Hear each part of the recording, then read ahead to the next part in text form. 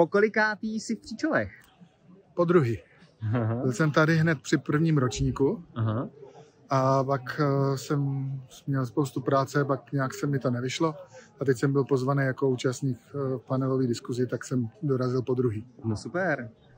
A navštěvuješ i jiný vlastenecký akce? A když to čas a práce dovolí, Aha. tak, eh, tak jo. Aha. A jak hodnotíš vlastenecký akce v kontextu Příčov? Uh, jako já nějak nerad paušalizuju, takže ono je to po každý jiný. Líbí se mi víc takové akce, kde se uh, kde jsou zajímaví lidé, kteří přinášejí nějaké zajímavé názory a myšlenky, víc než ty, kde se křičí. Aha. Kde je teda otev- otevřená diskuze? No, no, nebo spíš, kde se prostě něco svrhává, nebo to, ale je tam ta energie toho davu, tak já mám radši, když jsou prostě ty inspirativní hosti, kteří tě navedou tím směrem, kterým můžeš třeba Mhm. přemýšlet, nebo o co se můžeš zajímat. Mhm. Super. Slyšel jsi někdy o Příčovech, že sem lidé nechtějí jezdit, že to je žvanírna bez výsledků?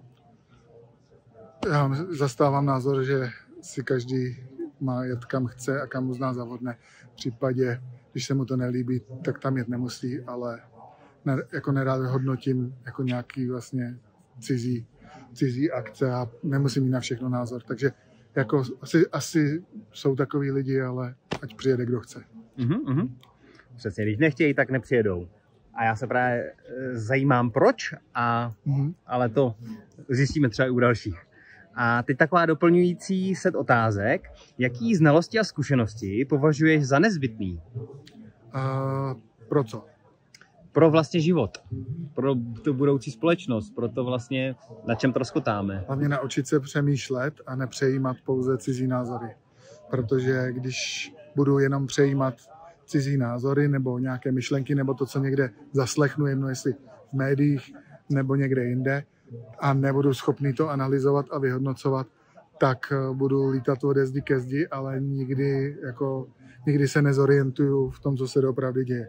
Takže je potřeba jako nějak si to vyhodnocovat a snažit se pochopit tu Mhm. realitu, nejenom přejímat Mhm. cizí myšlenky a názory. Já zkusím dát doplňující otázku, uh, protože tohle to vlastně slýchám skoro ode všech. Někdo říká selský rozum, někdo tomu říká kritický myšlení, někdo různě. A častokrát se neúplně shodujou. Takže právě jsem si myslel, třeba jako budu se ptát na koncepci společné bezpečnosti, tak jestli třeba nějaký takovýhle uh, znalosti, jakože bys doporučil, nebo z, z některých, který si čerpal. Ur- Určitě. Já jakoby v podstatě se učím za pochodu, protože já píšu svůj vlastní měsíčník, takže každý měsíc píšu 60 stran a v podstatě jako učím se neustále, protože jinak bych to ne, nemohl zvládat. Takže já vlastně nasávám obrovský objem informací, ale musím s nima právě pracovat tak, abych byl ten, který přináší ty myšlenky. To znamená, já ne, nebo nepíšu, co kde někdo řekl, ale z ty analýzy toho všeho, co to se snažím jako ukázat, jak se třeba jde na tu věc podívat, nebo o čem bychom měli přemýšlet. Takže já jakoby se to učím a uh, po každý se v podstatě, při každém čísle se naučím něco nového. Mhm. Chápu. Nevím, jestli jsem ti odpověděl. Uh, tak jenom komentář uh, ke znalostem koncepce společné bezpečnosti. Uh, já to používám taky při své práci, ale ne, jako ne, bych to řekl, spíš prakticky než teoreticky. To znamená, uh, jako když popisuju ten systém, já se snažím popisovat, jak funguje ten systém, abychom pochopili vlastně tu realitu a nějak se mohli podle toho zařídit. No a tam na to samozřejmě jakoby narážím, na, ty, na to řízení společnosti, na ty uh, konceptuální procesy, jako kam se to ubírá a tak dále, takže samozřejmě to se mi tam prolíná. Takže to je určitě jedna z těch, uh, jeden z těch ne- nevím, směrů nebo jedna z těch oblastí, které můžou člověku hodně pomoci. Mhm. Jinými slovy, uh, znáš to, používá a snažíš se něco Jo, jako nepí, nepíšu o tom vyložení, je, je to to a to a to, ale spíš jako by to aplikuju v praxi. Jasně. Super. Pak bych se rád zeptal na uh, pana Kozáka a znalosti gnoze, neboli interpretaci znalosti předků. Uh, Jestli jsi někdy slyšel, nebo něco ti to říká? Jako, upřímně, jako já nemám zas tak, protože jsem mm, úplně přetížený a maximálně vytížený, takže já opravdu jako systematicky sleduju spíš ty věci, který zrovna, který Mhm. píšu, který studuju, Mhm. takže jako k tomu asi bych se do hloubky nedokázal nějak smysluplně vyjádřit. Výborně. Ale jako zní to dobře a fandím tomu. A vlastně pak jsem se chtěl ještě zeptat na konkrétní část té koncepce, a to je metodologie poznání a tvořivosti. Mhm. Já se to vlastně snažím zjednodušovat do slabikáře života, tak jestli jsi o tom nějak slyšel, eventuálně v komentáři. Ale nevím, ale jako kreativita je moje silná stránka, takže já spíš asi používám ty věci nějak Mhm. intuitivně. Uh, metodu, hele, ne, nevím, ale tak, jak, co si myslím, že pod tím se skrývá, tak myslím si, že to využívám. Aha, super. Tak jo, a asi naposled uh, nějaký komentář pro vlastně na tu naši budoucí, budoucí No, společnost, pro diváky, kdyby si chtěl něco Myslím, sdělit. že teď nastává doba, kdy je důležité uh, najít svoji vlastní cestu, protože uh, když budeme spolehat vlastně na to, že se něco skvělého stane a někdo nás vyvede tady z temna eh, do světla, tak se obávám, že se nic takového stát nemusí a že je spíš na čase jako uh, přemýšlet o tom, jak přežít a jak vlastně v jakýkoliv době, jak žít smysluplný a naplněný život a začít v podstatě asi u sebe, protože jako spolíhat na to, že na, na ten zázrak, že najednou přijdou ty osvícený vládci, který to tady za nás všechno udělají, tak to myslím, že se neusvědčilo. Mhm. Nezbavovat se z odpovědnosti. Správně. Díky moc. Taky děkuji. Po kolikáté jsi v Příčovech? No, pokolikáté? Já mám dojem, že asi po čtvrté. Mhm. A proč? Tak je tady příjemné prostředí, jsou tady sympatičtí lidé, jsou tady eh, lidi, s kterými stojí za to si popovídat, eh, kteří prostě znají, kteří eh, mají možná ani ne tak znalosti, ale hlavně čest. Mhm. Navštěvuješ i jiný vlastenecký akce? Eh, Já upřímně řečeno moc často na nějaké akce nechodím, takže tohle je takřka výjimka. Mhm. A jak hodnotíš eh, vlastenecký akce v kontextu a těch příčov, ale vzhledem tomu, že jsi říkal, že moc nejezdíš, tak vlastně nemůžeš moc srovnávat. tak právě nemůžu moc srovnávat, takže tady se mně to líbí, tady je prostě příjemně, tak proto sem jezdím. Skvělý. A taková záludná otázka. Slyšel jsi někdy o příčovech, že sem lidé nechtějí jezdit, eh, že to tady je žvanírna bez výsledku? Tak ono si vždycky občas někdo pouští hubu na špacíra, eh, že jo, třeba i někdy mluví z cesty, ale jak říkám, tady je spousta lidí a spousta lidí velice rozumných, velice chytrých, velice čestných, což bych asi měl říci v první řadě. A setkání s nimi je vždycky přínosné. Mhm. A eh, dokázal bys třeba nějaký ty čestný lidi za tebe uh, jakoby zmínit, protože si myslím, že kritika je samozřejmě taky důležitá, ale důležitá je i ta uh, pochvala, nebo jak to říct.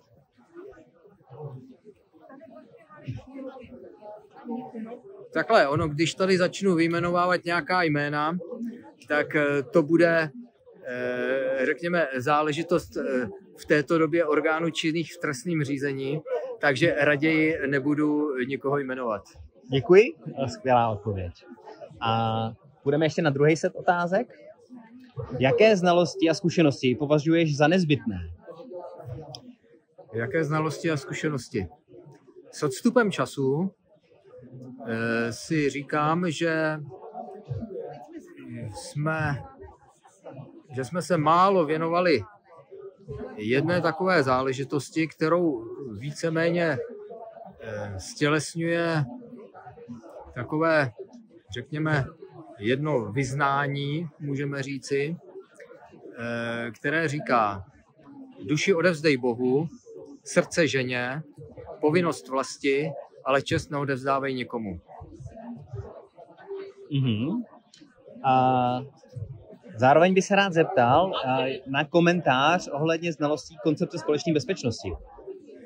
No, já právě, řekněme, do jisté míry chápu, co, eh, čím se koncepce eh, bezpečnosti zabývá, ale od jisté doby nemám rád takové ty příliš, příliš, řekněme, příručkovité, příručkovité záležitosti. Já se od toho svého času odklonil, tak jako jsem přestal mít rád řadu tak jako jsem obecně přestal mít rád ideologie jako takové.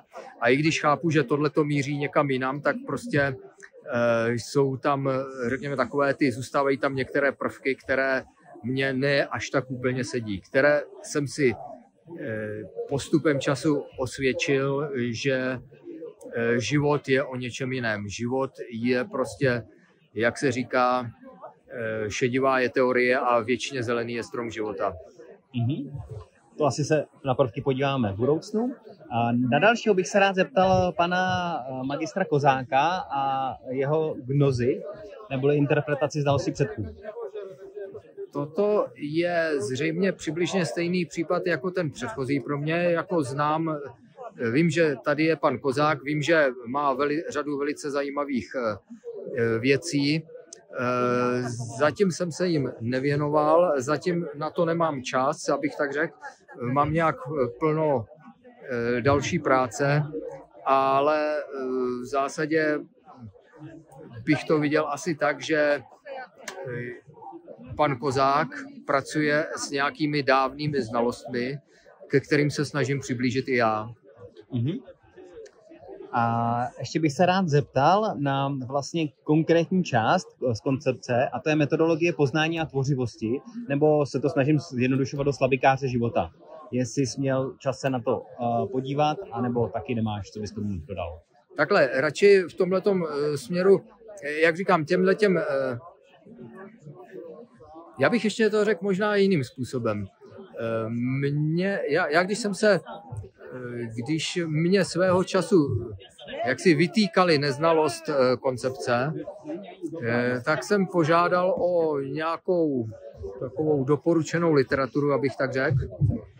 A eh, tu literaturu jsem se pokoušel přečíst. Musím s odstupem času říci, že já jsem měl vlastně potíže to pochopit, co tam bylo napsané. Že ono prostě, řekněme, já jsem schopen nějaké věci vnímat, nějaké scho- věci jsem schopen uh, si rozebírat, ale eh, ono to všechno má poměrně úzké meze a pokud to překročí nějaké hranice, tak potom se to dostává do oblasti, kde v podstatě mám s tím potíže.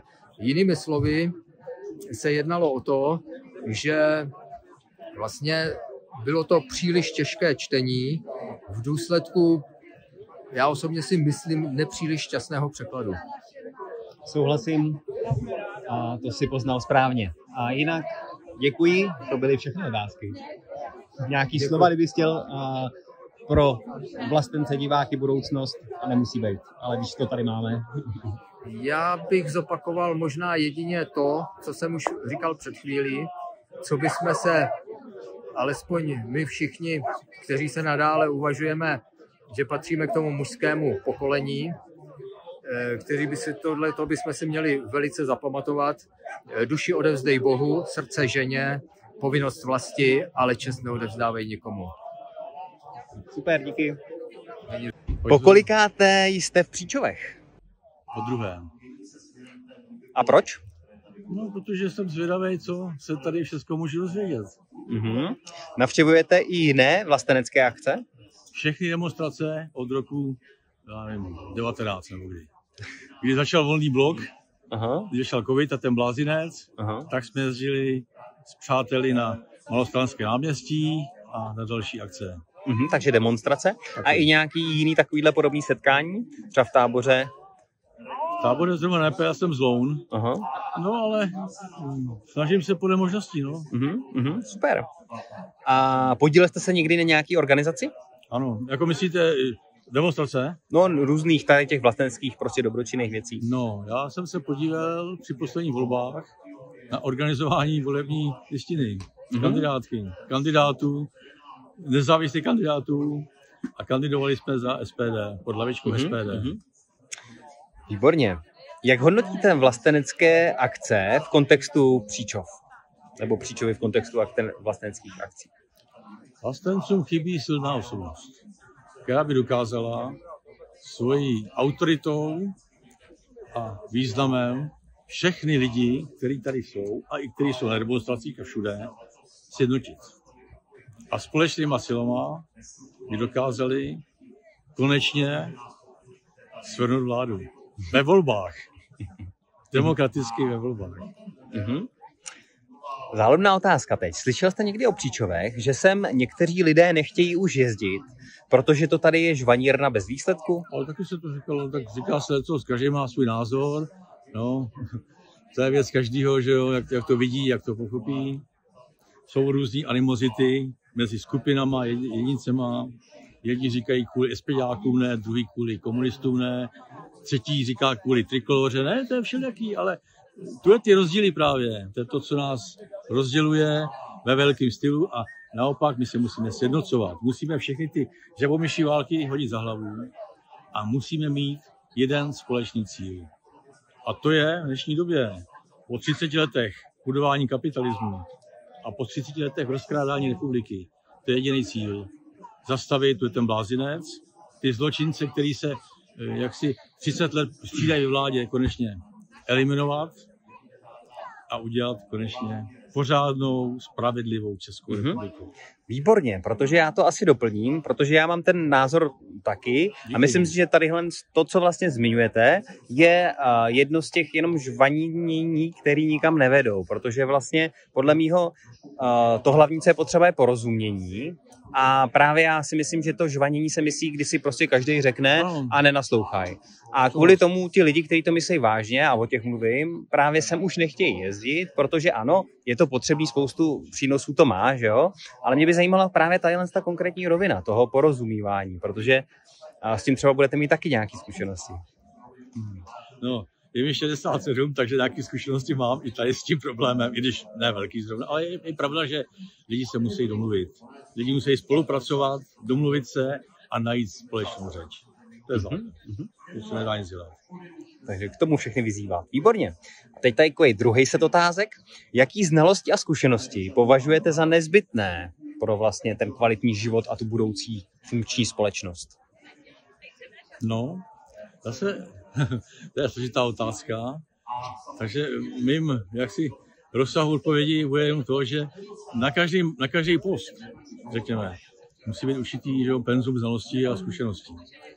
Jiný zkušenosti může mít člověk, který dělá, řekněme, který je obyčejný volič, nebo člen, například řekněme SPD. A jiný zkušenosti může mít člověk, který je na vyšších úrovních řízení, řekněme, na krajské úrovni, mm-hmm.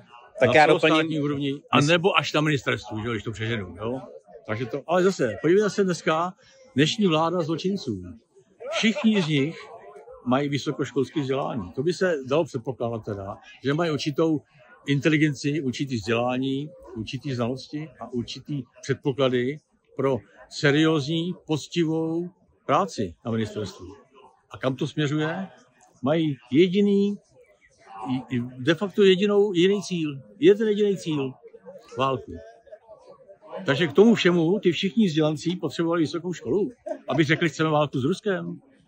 Mm-hmm. Je to žijeme. Ti lidi patří do blázince. Minimálně. Tak, právě proto, že mají tu vešku, tak takhle jednají. A to jsou ty souvislosti, to je potřeba to vzdělání a na to se hned zeptám. Slyšel jste někdy o koncepci společné bezpečnosti? Neboli teorie, jak jsou řízeny sociální supersystémy? Eventuálně nějaký komentář k tomu? To je složitý teda název. To je složitý název. Zase já to vemu velice laicky a jednoduše. Tady jde o to, aby všichni lidi si řekli rozumně, musíme se domluvit a spolupracovat a ne válčit. Mm-hmm. A když to řeknu úplně lidově, vzpomeňte si na film Dobrý bojář Švejk. Tam tedy ten Švejk říkal, nevlázněte, když tam jsou lidi, když se začal střílet. Mm-hmm. A to je ten základ.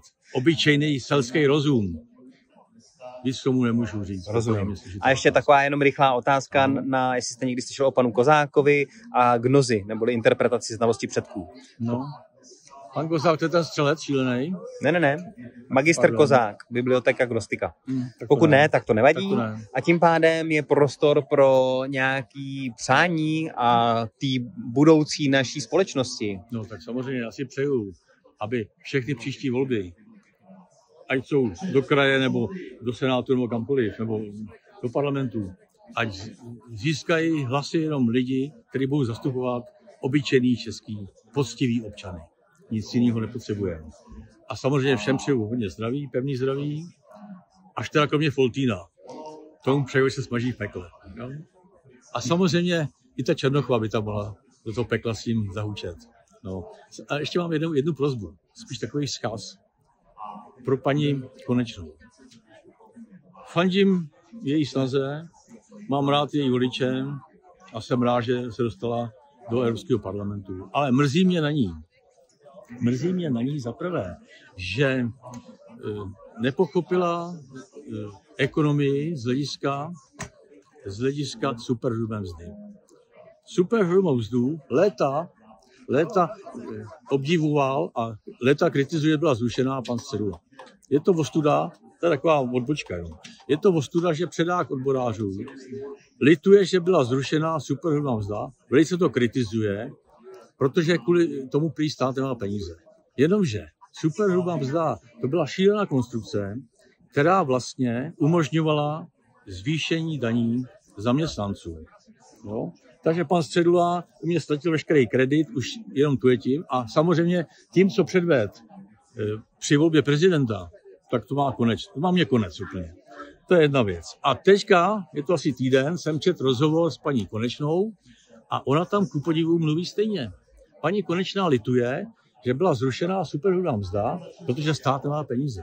Takže vážená paní Konečná, tu je, ten, tu je ta parta zločinců, která se zmocnila státu, by neměla mít v ruce ani korunu z našich daní. Neměla by být právo je, je utrácet.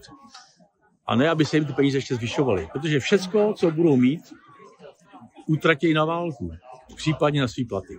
Paní Konečná, prosím vás, je mi divný, ale je mi líto, že vy obhajujete superhrubou mzdu, když je to vlastně zvyšování daní zaměstnanců. Každý zaměstnanec eh, platí daně, každý desetník mu spočítá mzdová úštárna a ještě byste mu tu daní zvyšovala?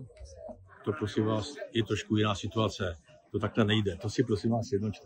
A potom bych měl druhou prozbu, taky na paní Konečnou. Já vás asi poprosím. No. Na paní Konečnou stačila jedna, já ji určitě kontaktuji nebo přepošlu a třeba můžeme jít do diskuze potom a rovnou Dobře, to tak ještě mám jednu prozbu. Existuje pan Čermák. Dostal pět let za to, že řekl nahlas to, co si všichni myslíme. Pět let se mi zdá velká pálka. Měl by se najít nějaký právník, nebo skupina právníků, odvážných spíš, asi skupina by to dokázali, aby mu pomohli protože vážení pět let za tohle, to je prostě hrozný. Uvědomte si, že každý vrah, i ten bestiální vrah, tomu se věnuje skupina psychologů a filozofů, aby zjistili, jestli je možná resocializace v jeho případě. U Čermáka nic, jenom ho zavřeli rovnou. A pět let je hodně. Takže to je všechno, bych, bych prosil, aby se nějakým způsobem začalo řešit. Tak děkujem. Děkuji.